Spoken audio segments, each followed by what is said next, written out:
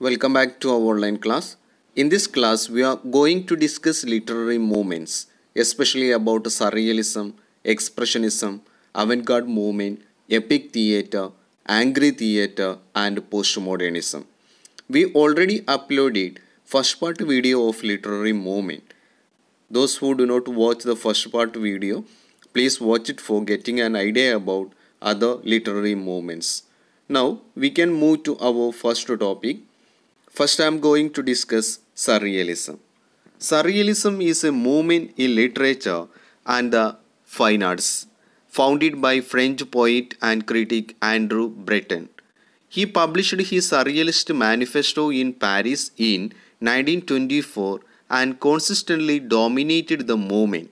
Surrealism grew directly out of the movement known as Dadaism, an art and literary movement reflecting nihilistic protest against all aspects of Western culture.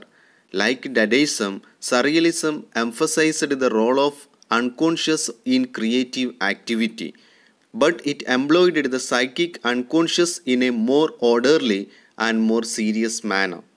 The Surrealists claimed as their literary forebears a long line of writers, outstanding among whom is the Comte de Lautréamont, author of the lengthy and complicated work Les Chants de Maldoror, that is in 1868 to 1870. Besides Breton, many of the most distinguished French writers of the early 20th century were at one time connected with the movement. These include Paul Eluard, Louis Aragon, Rene Crevel, and Philippe Soupault. Younger writers such as Raymond Queneau were also influenced by its point of view. Pure surrealist writers used automatism as a literary form, that is, they wrote whatever words came into their conscious mind and regarded these words as inviolable. They did not alter what they wrote, as that would constitute an interference with the pure act of creation. The authors felt that this free flow of thought would establish a rapport with the subconscious mind of their readers. Like their foreigners, the Dadaist, the Surrealist broke accepted rules of work and personal conduct in order to liberate their sense of inner truth. The movement spread all over the world and flourished in America during World War II, that is in 1939 to 1945 when Andre Breton was living in New York City. Next, we dealt with uh, Expressionism. In literature, Expressionism is often considered a revolt against realism and naturalism, seeking to achieve psychological or spiritual reality rather than record external events in logical sequence. Expressionism attempts to portray the inner workings of a person's mind by effectively turning them inside out and allowing mental state to shape their face, body, and even the world in which they live. In theater, expressionism results in a drama of social protest in which representation of the outer world took second place to the inner turmoil experienced by the main character which is expressed by long monologues. This can be seen as a reaction against a comfortable, unthinking, uncaring, and increasingly mechanized society. In the novel, the term is closely allied to the writing of Franz Kafka and James Joyce. In the drama, Strindberg is considered the forefather of Expressionist. Though the term is specifically applied to a group of early 20th century German dramatists, including Kaiser, Toller, and Wedekind. Their work was often characterized by a bizarre distortion of reality. The movement, though short lived, gave impetus to a free form of writing and of production in modern theatre. The objective of Expressionism in literature notably in the novel and the drama, are similar to those in art. The characters and scenes are presented in a stylish, distorted manner with the intent of producing emotional shock. The early expressionist playwright August Strindberg of Sweden and Frank Wedekind of Germany exerted an international influence on the next generation of playwrights. These included the Germans George Kaiser and Ernst Toller, the Czech Karel Čapek, and the Americans Eugene O'Neill and Elmer Rice. Expressionist drama gave rise to a new approach to staging, scene design, and directing. The object was to create a totally unified stage picture that would increase the emotional impact of the production on the audience. Among prominent directors were the Germans Max Reinhardt and Erwin Piscator and the Russian Vsevolod Meyerhold. Set designers such as Edward Henry Gordon Craig of Britain and Robert Edmund Jones of the United States used techniques similar to those of expressionist painters to provide visual stimulation consonant with the dramas. Expressionist painting and drama also influenced the cinema, as can be seen in the German film The Cabinet of Dr. Caligari, that is in 1990, with its nightmarish perspectives and mask like makeup and The Last Laugh, that is in 1924, notable for brilliant use of lighting and camera angles to convey the bitter story. Central characters, particularly in the work of Austrian novelist Franz Kafka, are trapped inside a distorted vision of the world that either reflects their own psychological conflicts or those of society in which the original readers lived. German novelists associated with Expressionism also include Max Brod and Karl Kraus. Expressionist literature in Germany was effectively wiped out by the Nazis in 1930s. In Expressionist literature, the physical consequences of a distorted situation are followed through as if it were completely real. Expressionist writers divide over the final consequences of this. Personal tragedies usually end in the destruction of the character. However, when the focus is the state of society, a positive ending can result, with the victory of traditional human values over repression and mass production. This is particularly apparent in the theatre. Expressionist drama flourished in Germany in the work of Reinhard Johannes Sorge, George Kaiser, Ernst Toller, Paul Kornfeld, Fritz von Unruh, and Walter Hasenclever. Next we are going to discuss avant-garde movement. Avant-garde movement refers to people or works that are experimental or innovative, particularly with respect to art, culture and politics. Avant-garde represents a pushing of the boundaries of what is accepted as the norm or status quo, primarily in the cultural realm. The notion of the existence of avant garde is considered by some to be a hallmark of modernism, a distinct from postmodernism.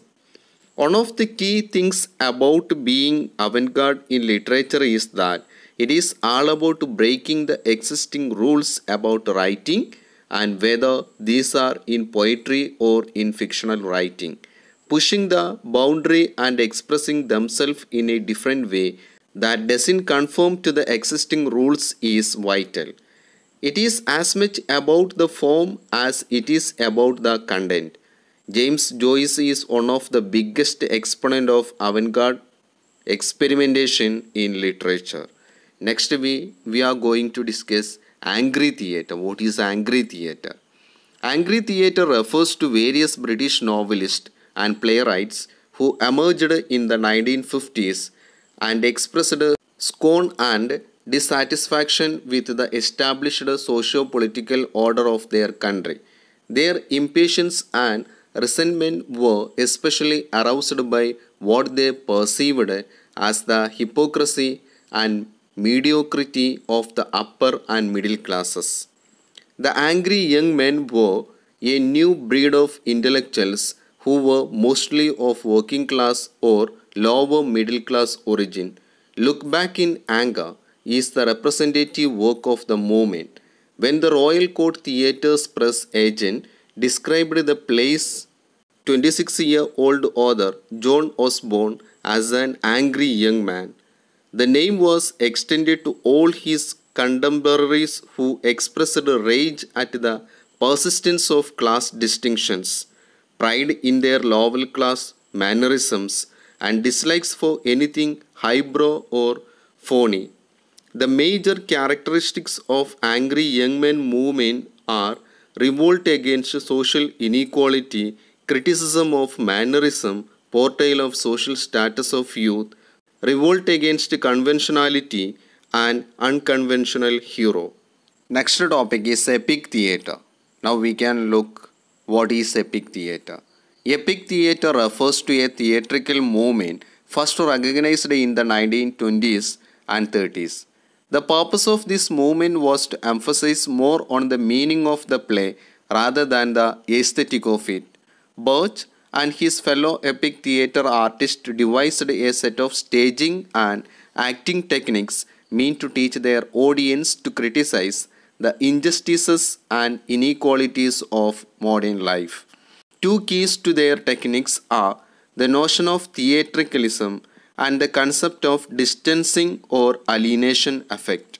The first, theatricalism, simply means the audience aware that they are in a theatre watching a play. Brecht believed that seducing the audience into believing they were watching real life led to an uncritical acceptance of society's values. He thought that by keeping stage sets simple, showing exposed lighting instruments, breaking the action into open ended episodes, projecting labels or photographs during scenes, or using a narrator or actors to directly address the audience, a production would allow an audience to maintain the emotional objectivity necessary to learn the truth about their society. The second key to epic theatre, the distancing or alienation effect in acting style, has the same goals. Brecht wanted actors to strike a balance between being their character on stage and showing the audience that the characters is being performed. The use of quotable gesture, that means the employment of a stance, mannerism, or repeated action to sum up a character. All this, the sudden shift from one behavior to another to put the audience off balance. And the suggestion of the road note taken in each moment of a character's decision making are all the means to the didactic end of teaching us to criticize the society we see on stage in epic theatre. The last topic in this session is postmodernism. Now we can look what is postmodernism. Postmodernist thought is an intentional departure from modernist approaches that had previously been dominant. The term postmodernism comes from its critique of the modernist scientific mentality of objectivity and progress associated with the Enlightenment. Developed in the second half of 20th century, it is largely influenced by a number of events that marked the period genocide that occurred during Second World War, Soviet gulags, the Chinese Cultural Revolution, mass destruction caused by atomic bombs dropped on Hiroshima and Nagasaki, insecurity of Cold War era, post-colonialism issue, as well as the supremacy of multinational corporations and post-industrialism with new technologies, violence, counterculture, and consumer culture shaped the perception of new authors. While postmodernism had a little relevance to poetry and only a limited influence on modern drama, that is, applied only to the absurd theatre, it had a huge impact on fiction, especially to the novel, characterized by an attempt to establish trans historical or transcultural validity. It claims that search for reality is pointless, as the real is conditioned by time, place, race, class, gender, and sexuality. There is no knowledge or experience that is superior or inferior to another. Literary postmodernism is generally characterized by features such as a mixing of styles, for example, high and low. In the same text, discontinuity of tone, point of view, register, a logical sequence, apparently random, unexpected intrusions and disruption in the text. A self consciousness about language and literary technique, especially concerning the use of metaphor and symbol, and the use of self referential tropes, even though the writers most often associated with postmodernism may deal with serious themes.